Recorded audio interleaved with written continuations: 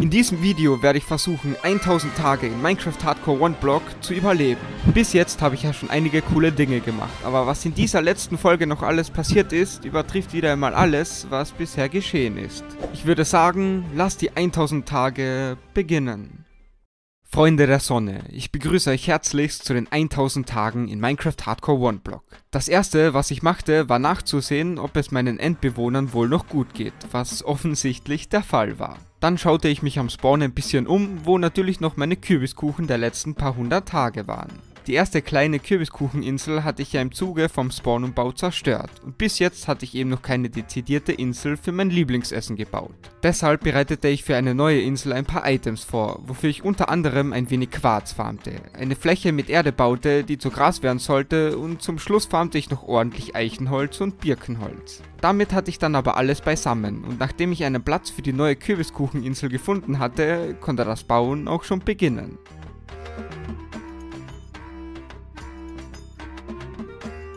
In der 906. Nacht wurde ich damit dann fertig, was schon echt nicht verkehrt aussah. Am nächsten Morgen, als ich kurz was im Lager machte, droppte ich einfach versehentlich meine Netherite-Spitzhacke. Aber zum Glück hatte ich ja den Spongebob schon fast fertig gebaut. Sonst wäre das nicht so schön gewesen. Naja, ich farmte dann kurz ein bisschen Cleanstone, womit ich dann den Unterbau der Kürbiskucheninsel zu bauen begann. Das war echt nicht so einfach, weil die Insel ja nicht unbedingt schön rund war. Mit dem Endergebnis war ich dann aber trotzdem zufrieden und jetzt fehlte nur noch mehr die Inneneinrichtung. Dafür musste ich noch ordentlich Birkenholz farmen gehen, aber als ich davon genug beisammen hatte, konnte ich auch das Innenleben des Kürbiskuchen anfangen zu bauen.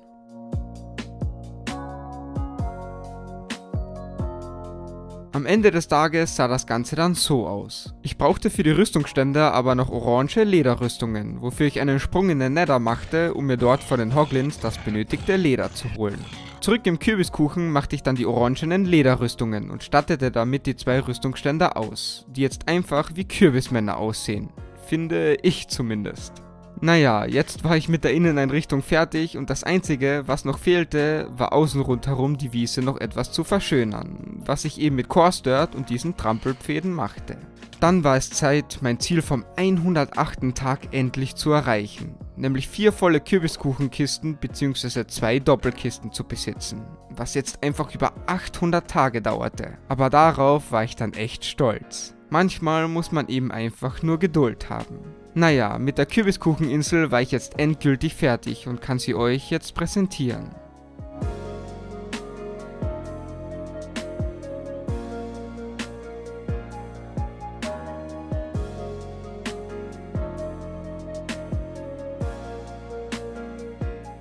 Das nächste Projekt, was ich angehen wollte, war der Keller der Tempelinsel. Dort habt ihr ja entschieden, dass ich ein kleines Höhlendorf bauen sollte. Also farmte ich dafür mal ein wenig Cleanstone, womit ich dann eine Plattform auf der Höhe baute, wo das Dorf dann letztendlich stehen sollte. Zum Schluss sah das dann so aus. Ein wenig Gefälle, dass das auch ein wenig natürlicher aussieht. Anschließend duplizierte ich mit Core Dirt wieder eine Menge Erde, die ich zu Gras machen wollte, weil ohne Sonnenlicht würde sich das Gras im Untergrund des Tempels nicht ausbreiten. Die ganze Oberfläche der Riesenkiste platzierte ich damit voll, womit ich dann in die Höhle ging und anfing, das Gras zu platzieren. Alles ging sich damit leider nicht aus, also hieß es nochmal kurz Erde farmen und darauf zu warten, bis alles zu Gras wurde. In der Zwischenzeit ging ich aber zu meinem Holzfarmplatz und farmte dort eine Viertelstunde Eichenholz. Dann bereitete ich noch ein paar weitere Kleinigkeiten für den Bau vor und snackte mir dann die ganzen Grasblöcke, die ich dann im Untergrund platzierte, womit die ganze Fläche jetzt mit Gras bedeckt war. Da ich jetzt ja schon alles vorbereitet hatte, holte ich die Schalkerboxen, ging in den Keller und fing an, das Höhlendorf zu bauen. Wie ihr seht, baute ich dann einen Weg von außen nach oben, damit man natürlich auch irgendwie zu dem Dorf gelangen kann. Am Anfang war ich sehr skeptisch, wie das aussehen würde, aber ich finde, das schaut eigentlich ziemlich nice aus. Aber das bin natürlich nur ich. Schreibt mal gerne in die Kommentare, wie ihr das findet.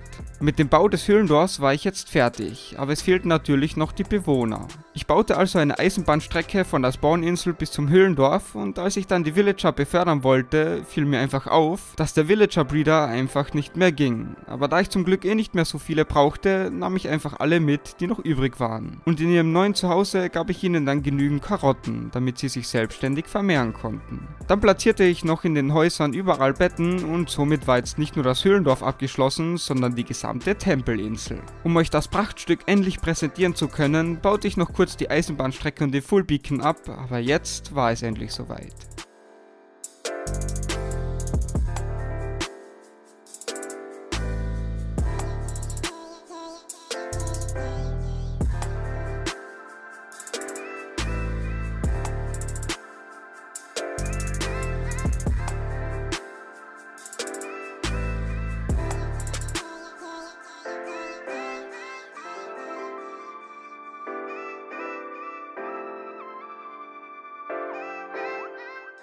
Na, was sagt ihr dazu? Für mich ist es meine absolute Lieblingsinsel in dieser One-Block-Welt. Da meine Spitzhacke schon wieder kurz vorm Untergehen war, ging ich kurz all meine Sachen reparieren und zurück zu Hause wollte ich dann das nächste Megaprojekt zu Ende bringen. Den Riesen-SpongeBob. Dazu brauchte ich noch ordentlich viel braunes und schwarzes Concrete und als ich zu meiner Duper-Maschine ging und einfach sah, dass diese einfach am Laufen war, wusste ich schon ungefähr, was mich erwarten wird. Ich weiß nicht mehr, wann ich die das letzte Mal eingeschalten habe, aber das war sicherlich schon einige Zeit her. Und das Problem bei dieser Maschine ist, dass man die nicht lange laufen lassen darf, weil wenn man sonst das End betritt, Minecraft sich einfach aufhängt, weil einfach hunderttausende von Items dort am Boden liegen. Ich versuchte trotzdem mein Glück und sprang ins End, wo genau das passierte. Nach stundenlanger Recherche kam ich zu dem Schluss, dass ich in den Files den Spawn-Chunk vom End löschen kann, was meine einzige Option war. Das machte ich also und es klappte Gott sei Dank. Mein transformiertes End ging also doch nicht verloren, worüber ich wirklich mehr als nur glücklich war. Ich baute die Auffangstation im End wieder auf und ließ dann schwarzes und braunes Concrete farmen, das ich währenddessen direkt beim Concrete Converter zu normalen Concrete machte. Diesmal passte ich aber auf, dass der Duper nicht allzu lange wieder am Laufen gelassen wird. Mit dem ganzen Concrete begann ich dann den Spongebob weiter zu bauen.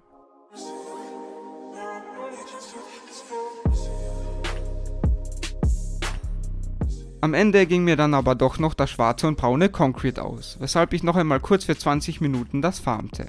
Dann konnte ich aber das ganze restliche Glas und den Concrete platzieren, womit ich dann mit dem nächsten Megaprojekt, dem SpongeBob Pixel Art, am 936. Tag fertig wurde. Auch bei diesem Projekt hat es einfach geheißen, Geduld und Ausdauer zu haben. Aber ich finde, die ganze Arbeit hat sich gelohnt. Ich glaube, nicht jeder kann behaupten, einen riesen SpongeBob in seiner Welt zu haben.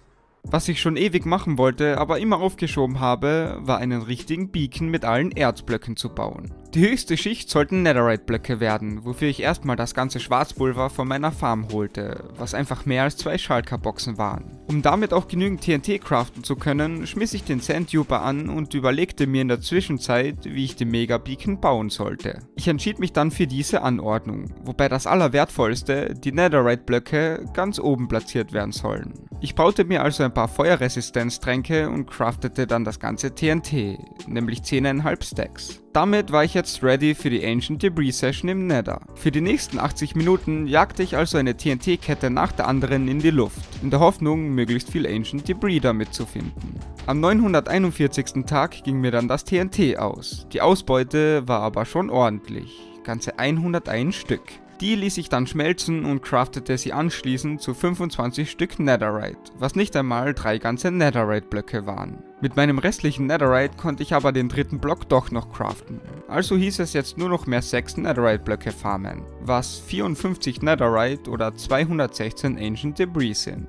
Also stand ich mal eine Viertelstunde AFK bei der Creeper Farm, um auszurechnen, ob sich das überhaupt noch ausgehen würde, weil ich ja schon noch ordentlich viel TNT brauchen würde. Die Ausbeute nach einer Viertelstunde war circa eine halbe Schalkerbox mit Schwarzpulver. Nach kurzem Nachrechnen wusste ich, dass sich das eh easy noch ausgehen sollte, also stand ich diesmal für ganze 50 Minuten AFK bei der Creeper Farm, was mir dann im Endeffekt 50 Stacks Gunpowder bescherte. Aus diesen craftete ich dann wieder 9 Stacks TNT, womit ich am 900 146. Tag die zweite lange Netherite-Session angehen konnte. Die nächsten 50 Minuten verbrachte ich also wieder im Nether, wobei am Ende eine Ausbeute von 100 Stück Ancient Debris zu verzeichnen waren. Diese ließ ich auch schmelzen, woraus ich die nächsten drei Netherite-Blöcke craften konnte. Zwei Drittel waren es also geschafft. Für eine weitere Stunde, nämlich bis zum 953. Tag, stand ich nochmal AFK bei der Creeper Farm, wodurch ich weitere 7 Stacks Dynamit craften konnte, mit denen ich weitere 40 Minuten lang 49 Ancient Debris farmte. Das reichte natürlich nicht aus, aber da ich die letzten 6 Stunden nur damit verbrachte, wollte ich wieder mal was anderes machen. Der Megabeacon brauchte ja natürlich auch seinen eigenen Platz und deshalb wollte ich jetzt eine eigene Insel dafür bauen. Es war für mich ziemlich schwer, einen geeigneten Platz dafür auszusuchen, aber als ich mich dann am 956. Tag entschieden hatte, konnte das Bauen auch schon beginnen. Wie ihr seht, hatte ich gleich die ganzen Erzblöcke auch schon platziert. Es fehlte eben nur noch mehr die allerwertvollste Schicht, die Netherite-Blöcke. Ein letztes Mal hieß es für mich also eine Dreiviertelstunde AFK bei der Creeper Farm zu stehen und anschließend fast 6 Stacks TNT zu craften. Nach ein paar gebrauten Feuerresistenztränken ging es also in den Nether, wo ich das letzte Ancient Debris am 962. Tag abbauen konnte. Zurück zu Hause craftete ich mir dann die restlichen Netherite-Blöcke, wovon ich jetzt endlich 9 Stück hatte, die ich dann mit vollem Stolz ganz oben auf meinem Mega-Beacon platzierte. Das war echt ein nices Gefühl, sage ich euch, und nachdem ich den Beacon dann auch platzierte und Stärke 2 auswählte, fühlte ich mich nicht nur stärker, sondern war auch froh, dass ich auch dieses Projekt durchgezogen hatte.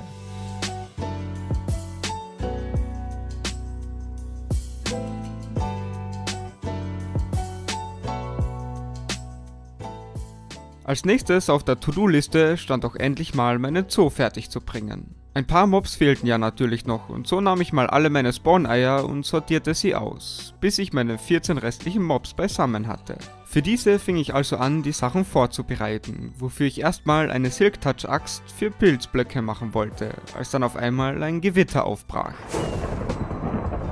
Ich flog also direkt zu meiner modifizierten Mobköpfe-Farm und holte mir direkt den ersten Mobkopf. Dann starb ich einfach fast und leider funktionierte die Architektur jetzt nicht so super gut, dass die Farm dann auch direkt wieder zerstört wurde. Naja, als Ausbeute bekam ich trotzdem zwei Zombieköpfe, die ich in meinem Mobköpfehaus in der kleinen Stadt als Inneneinrichtung hinzufügte. Dann ging die Vorbereitung für den Zoo aber weiter, wofür ich unter anderem Pilze abbaute und alles zusammensammelte. Am 964. Abend war ich dann aber ready und die letzten Gehege konnten gebaut werden.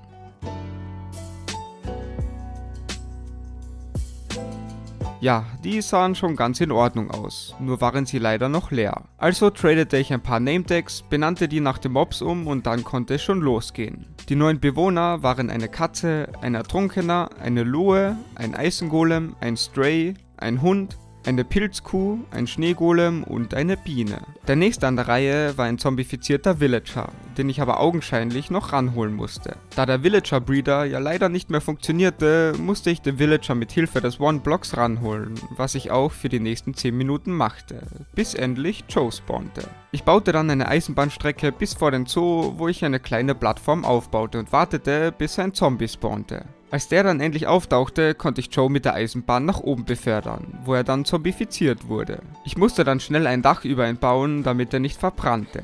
Bis wieder Nacht wurde, baute ich dann die Eisenbahnstrecke wieder ab, kümmerte mich um die restlichen Nametags und brachte die restlichen Mobs in den Zoo, nämlich einen Delfin, ein Lama, ein Phantom und einen Wandering Trader. Dann war aber auch schon wieder Nacht und der zombifizierte Villager durfte auch in sein neues Zuhause. Ich baute dann schnell die kleine Vorrichtung ab und somit war ich mit dem Zoo auch fertig.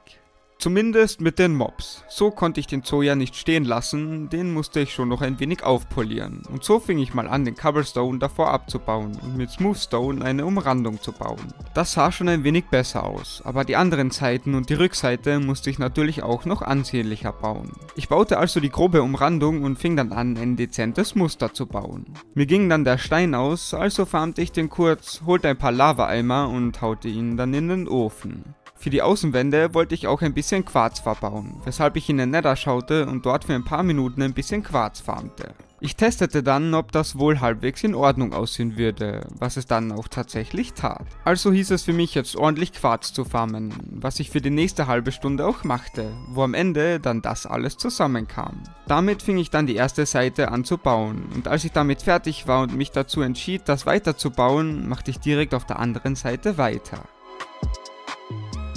Leider ging mir dann nicht nur das Quarz aus, sondern auch die Shroom Lights, die ich auch unbedingt einbauen wollte. Also hieß es für mich ein weiteres Mal für eine halbe Stunde Quarz und Shroom Lights zu farmen. Am 977. Tag war ich aber wieder zu Hause und konnte mit den Wänden vom Zoo weitermachen. Ich wurde sogar so gut wie fertig, es fehlten nur mehr ein paar Shroom Lights. Diese holte ich aber auf schnelle Welle im Nether und baute damit den Zoo zu Ende. Schaut vielleicht etwas eigenartig aus, aber ich finde sie irgendwie lustig. Naja, ich musste noch die Sandkabine ausbessern und dann war der Zoo auch eigentlich endlich fertig.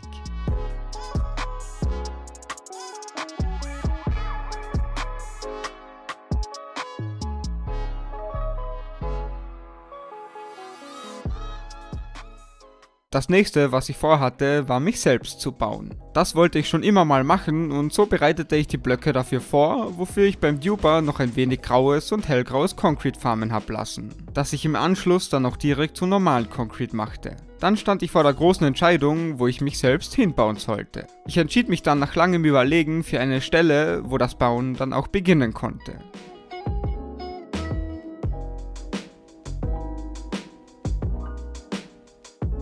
Ja, so sah das Endergebnis dann aus. Und wenn ihr gerade den Film schaut, dann ist jetzt tatsächlich schon mein Shop online gegangen, wo ihr euch meinen Skin in echt holen könnt. Freunde der Sonne, ich sag's euch, freut euch drauf. Der wird echt richtig nice. Naja, den in meiner Minecraft-Welt stehen zu haben, finde ich aber auch extrem cool.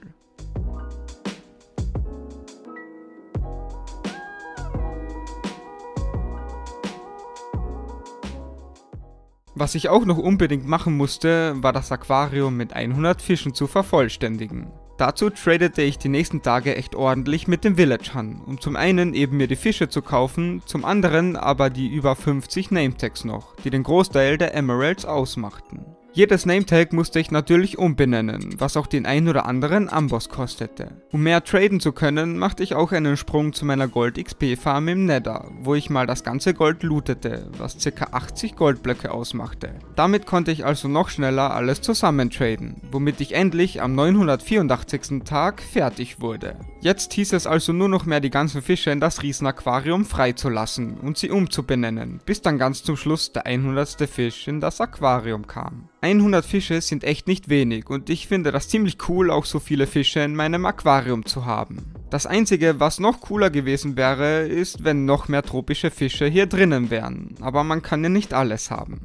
Endlich spawnte wieder einmal ein Wandering Trader, wovon ich ein Lama ja noch in den Zoo bringen musste. Ich baute also vom Zoo weg einen Weg bis zu meinem Cobblestone Farmwürfel, wo ich ein Lama dann in ein Minecart packte und es so zu meinem neuen Zuhause schickte. Dann baute ich den Weg wieder ab und benannte die Füchse nach eurem Wunsch in Thaddeus und Patrick um. Thaddeus ist zwar falsch geschrieben, aber was soll's, ich finde die Namen trotzdem gut. Als nächstes wollte ich die Stadt mit ein wenig Bäumen schmücken, was ich die Nacht lang machte und im Anschluss platzierte ich außen noch überall Gras und Blumen. Das sah schon ein wenig besser aus und ich wollte dann den Rest noch aufräumen Bäumen, wo ich in einer der Kisten einfach absolut viele Stacks an Grasblöcken fand. Was mich wirklich ärgerte, da ich in der Vergangenheit ja schon ordentlich viel Grasblöcke immer farmen musste. Naja, ich räumte den ganzen Schabernack auf und besserte hier und dort noch Kleinigkeiten aus. Darunter machte ich den Unterbau auch noch einheitlich. Dann war die Stadt aber endlich vollständig, womit ich auch äußerst zufrieden war.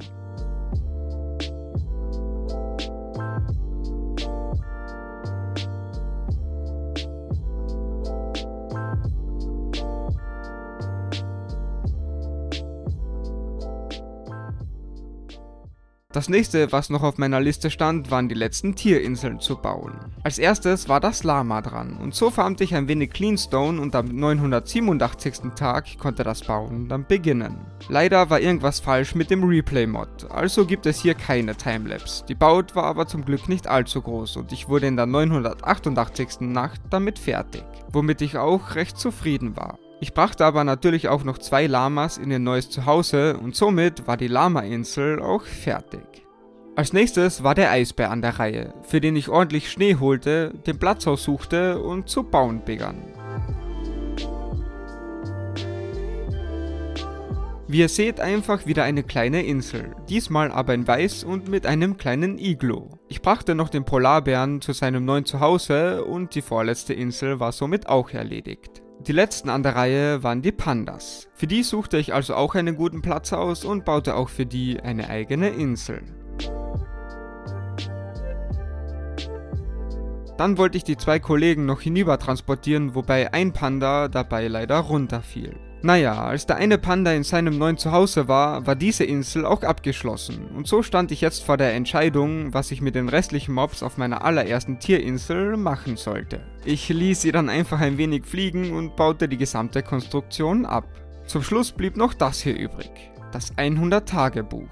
Hier wollte ich dieses Artefakt nicht einfach hängen lassen, also überlegte ich mir einen ganz besonderen Platz dafür. Ich brachte es an der Decke meines Tempels an, wo es fortan seinen Platz hat.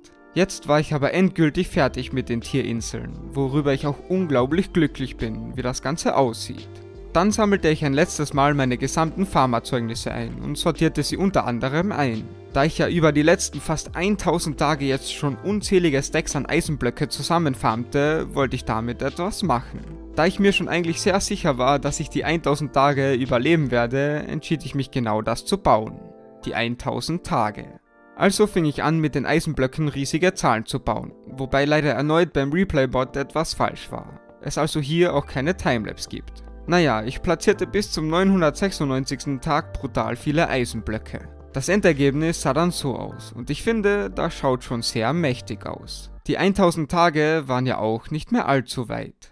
Was ich jetzt noch machen wollte, war eine Feuerwerkshow für den 1000. Tag vorzubereiten und so craftete ich Unmengen an verschiedenen Feuerwerksternen mit verschiedenen Effekten und Farben. Dafür musste ich auch noch ganz kurz ein wenig Kohle bei meiner Wither Skeleton Farm farmen und als mir dann das Gunpowder ausging, fing ich an die Konstruktion für die Show zu bauen. Nur leider funktionierte die nicht. Und zwar, weil ich die Feuerwerksterne ja noch zu Raketen craften musste, was ich leider komplett vergessen hatte. Da ich jetzt aber kein Schwarzpulver mehr hatte, stand ich bis zur 998. Nacht bei meiner Creeper Farm, mit dessen Schwarzpulver ich jetzt alles zu Raketen craften konnte. Diese packte ich dann alle in die Dispenser und nachdem ich hier und dort noch Sachen aufräumte, musste ich noch unbedingt eine Sache erledigen. Eine geupdatete Karte machen. Ich craftete mir also einige Karten und aktivierte sie alle, die ich dann in einem meiner Häuser der Stadt aufhängte, wo ich echt sagen muss, dass sich vieles zur alten Karte verändert hat.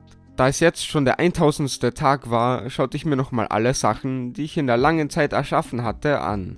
Angefangen bei der Stadt, die Hauptinsel, die Villagerinsel, die Farmwürfel, der Zoo, Spongebob, die Tierinseln, das transformierte End und zu guter Letzt meine Tempelinsel, welche mein Lieblingsprojekt von allen war. Das alles ist innerhalb der letzten 1000 Tage erschaffen worden, wobei das nicht mal alles war. Hier muss ich kurz mal ein Danke an jeden einzelnen Zuschauer aussprechen. Ohne euch wäre das alles hier nämlich nie passiert. Ihr wisst gar nicht, wie viel es mir bedeutet, ob stiller Zuschauer oder nicht, dass ihr meine Videos schaut. Ein großes Dankeschön. Dann war es aber Zeit für den Abschied. Das Feuerwerk startete und ich war zum einen etwas traurig, dass dieses Projekt zu Ende ging, zum anderen aber extrem stolz, dass ich es bis zum 1000. Tag überhaupt geschafft habe. Ein letztes Mal kann ich also sagen, das war es. Ich habe 1000 Tage in Minecraft Hardcore One Block, ohne zu sterben, überlebt.